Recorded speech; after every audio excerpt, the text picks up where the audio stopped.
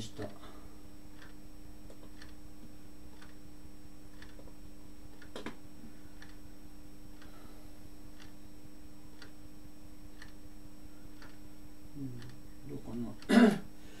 ちょっとやっぱり音の出だしのところでピシッと音程が合わせられないっていうのが。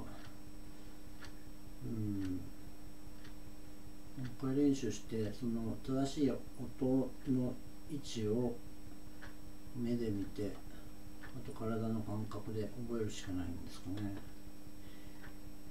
耳で聞いてからならまだ。